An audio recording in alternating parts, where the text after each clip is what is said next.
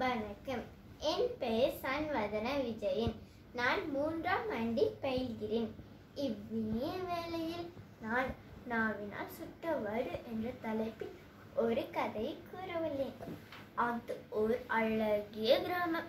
அங்கு அமுதன் என்னும் சிறுவன் தன் குடும்பத்தோடு வாழ்ந்து வந்தான். அமுதன் ஒரு முன் கோபக்கார பையன். அவனுக்கு எடுத்ததற்கெல்லாம் கோபம் வரும். கோபம் வந்தால் வாய்க்கு வந்தபடி தலைகால் தெரியாமல் எல்லோரையும் பேசிவிடுவான். பின்னர் அவர்களிடம் வருத்தப்படுவான். நாளடைவில் சுற்று வட்டாரத்தில் இதனாலே பலருக்கு பிடிக்காமல் போனது. அவனை தவிர்க்க ஆரம்பித்தார்கள். பையனுக்கு தன்னை திருத்திக் கொள்ள வேண்டும் என்று தோன்றினாலும் எப்படி என்றுதான் தெரியவில்லை. அமுதனின் அப்பா பொறுத்து பொறுத்து பார்த்துவிட்டு ஒரு நாள் வாரி நிறைய அணிகளையும் ஒரு சுத்தியலையும் கொடுத்தார். ஒவ்வொரு முறை ஆத்திரப்படும் போதும் சம்பந்தப்பட்டவர்களை திட்டுவதை தடுத்துவிட்டு வீட்டுக்கு பின்னால் உள்ள மரவேலி ஆணி ஏற்றும்படி அறிவுறுத்தார். முதல் நாள் வேலையில் சுமார் ஐம்பது அணிகளை ஏற்றினான் அமுதன். நாட்கள் செல்ல செல்ல அவனை கோபமூட்டுபவர்கள் முன் வன்மையாக பேசுபவரை கட்டுப்படுத்த கற்றுக்கொண்டான்.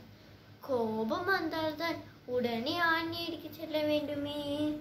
நாட்கள் செல்ல செல்ல வாயையும் சுத்தியலையும் எடுத்துக்கொண்டு போகும் முன் கோப வெறி குறைந்து போய் சில நாட்களில் ஆணிற்கு தேவையே அவனுக்கு இருக்கவில்லை.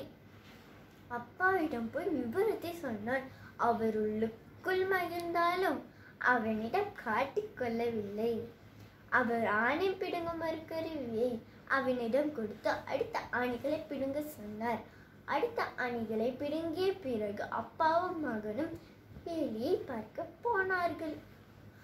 அப்பா ஆணியை பிடுங்கிய இடத்தில் உள்ள படுக்கலை மகனுக்கு காட்டி கோபம் வந்தால் அறிவிலிருந்து சொல்லும் சுடு சொல்லும் இந்த ஆணியை போலதான் ஆணியை பிடுங்குவது போல் நீ பேசியதற்கு மன்னிப்பு கேட்டாலும் அந்த சொல் தேய்த்த இடத்திலுள்ள வடு இந்த ஆணி உருவாக்கிய வடுவை போலவே மறைவது மிக கடினம் என்று அவனுக்கு எடுத்து கூறினார். மகனும் கருத்தை நன்றாக உணர்ந்து திருந்தி ஊர் போற்றும் வகையில் வளர்ந்து வாழ்க்கையில் வெற்றிகள் பல பெற்றான் தீயினால் சுட்டப்புண் விரைவில் ஆறிவிடும். ஆனால் நாவினால் சுட்டப்புண் ஆறாது. மாறாக வடுவாய் உள்ளத்தில் என்றும் இருக்கும். நன்றி வணக்கம்.